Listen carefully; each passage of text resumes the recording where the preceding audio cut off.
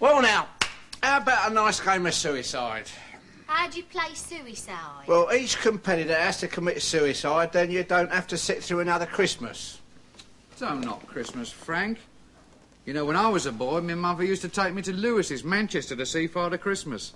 There was this wonderful old grotto with fairy lights and lots of little gnomes, and you'd walk along this snow-carpeted corridor, and there in this beautiful light was this old man with a white beard and a red coat, and I climbed up on his knee, and I sat on his lap, and I punched him right on the nose. You should have heard the old bastard swear.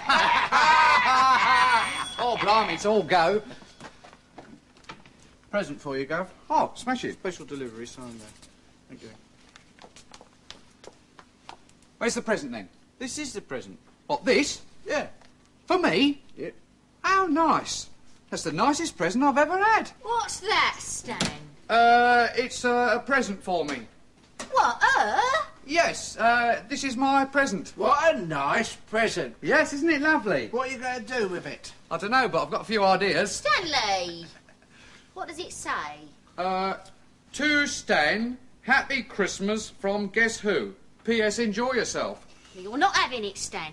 Would you like to play with my present, Frank? I'm not having it in the house. I think I'll just take my present into the other room and have a little play with it. Make lovely presents, women, don't they? Oh, yes, lovely. I think they make the nicest presents. They do, women. They make the nicest presents. Here, Frank, I never gave you a present this Christmas, did I? No. Oh, I'd like you to have this. Stand up, Vera.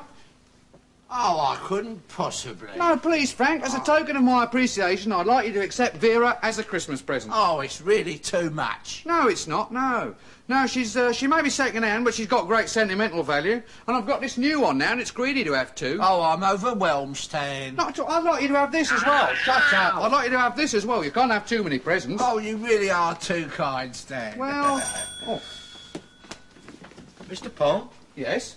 We're a Christmas present for you. For me? Yeah. How nice. Come in, lads. Who are you from? We're from him. Frank, how very kind of you. What a lovely surprise. Not at all. You deserve them. What's that, dear? Frank's given me a band for Christmas. Oh, well, we better hear them play. All right, I'll have a little play with me band. Here, what about me then? Don't worry, I'll have a little play with you later.